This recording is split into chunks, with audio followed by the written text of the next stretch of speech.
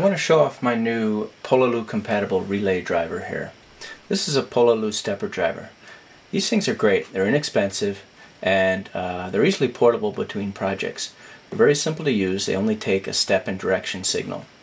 Um, there's a lot of cards that use these. There's Arduino shields um, and they're great for uh, lasers, uh, 3D printers, and small CNC machines.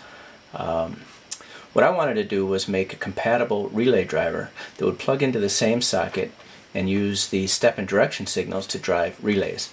What I have here is uh, two DIN rail relays and I can demonstrate that just applying a signal to the step or direction I can get them to activate.